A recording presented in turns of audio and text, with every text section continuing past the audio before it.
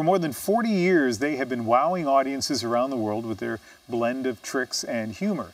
And occasionally, they even pull back the curtain, revealing the secrets behind the magic. We take the ball, we place it in our hand, we vanish it, and it appears underneath the cup. Never let the audience see your secret preparation. They must not know what is hidden in which pocket. Well, we want to take a bit of a break from the big news stories of the day, the serious news stories of the day, to introduce you to these gentlemen, Penn and Teller. Thank you very much for the dropping by. The non-serious news story of the day. You know what's interesting is before the camera started to roll, you were saying a thing, you were talking up a storm. Oh, yeah, that's the way it usually is. and uh, of course, you're not mic'd because part of your shtick is once the camera rolls, we don't hear from you. That's correct. Yeah. So uh, I'm curious. You know, you're you guys are so recognizable. You've been stars for so long. When you showed up at Canada Customs last night, I guess, what kind of reaction do you get? Oh, they were uh, they were very nice to me. Uh, you, you go through okay? We crossed the border without incident. Uh, uh, Trump hasn't got the wall in place yet, so we, we moved across fairly easily. And what do you tell them your job is when they say, "What do you do?" Uh, well, they they said, "Aren't you the guy in Penn and Teller?" So they kind of knew. Uh-huh. I said I was coming up to uh, to do a show at the. Uh, The at casino, yeah. At the casino, and Yeah. they uh, they said sure. It was actually fairly easy. Although they did follow all the rules. They checked the passport. I don't want to get anybody in trouble, but it, it went it went through fairly easily. And tomorrow you're back in Vegas. You know, looking at your guys' schedule, you've been in the in this business for what, 40 years? We've been working together for 41 years. And up all you do is do shows. What keeps Yeah. you motivated? Well, we, we like doing shows. I mean, when we when we were uh, we- didn't know each other then, but when we were uh, we were children. You know, all I wanted to do in life was to think up ideas and do them for people. And uh, and then when I uh, first started working with Teller, all we wanted to do was think up ideas together. We've been doing that. We we are uh, one of those uh, rare groups in show business that actually are more successful than we had planned.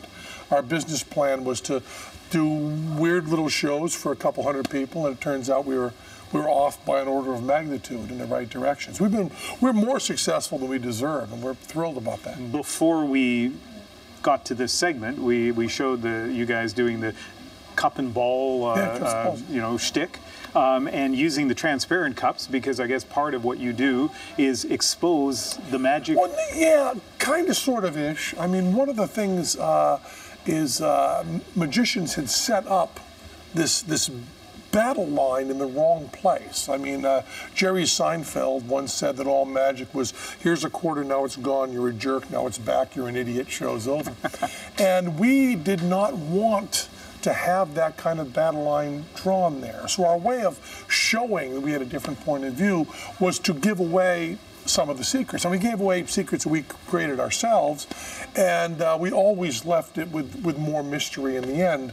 But uh, on the way there was just kind of say, we're exploring the way we ascertain information. We're not really saying, ha ha, we know this and you don't.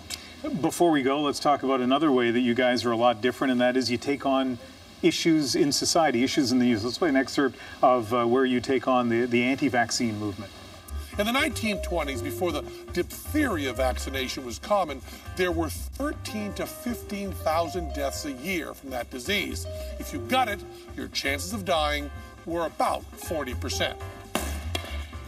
In 1952, just before the Salk vaccine became common, there were about 58,000 cases of polio. If you get unlucky, you might end up permanently disabled or dead. Meningitis, hepatitis A and B, flu, mumps, whooping cough, pneumonia, rotavirus, rubella, smallpox, tetanus, chickenpox. Chickenpox.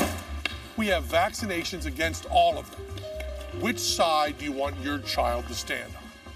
So, Penn, where does that kind of stuff fit into your Well, act? well, that show was called BS, and uh, p- part of the idea of that was to use uh, a few of the skills that we learned to lie to people to point out how they were being lied to.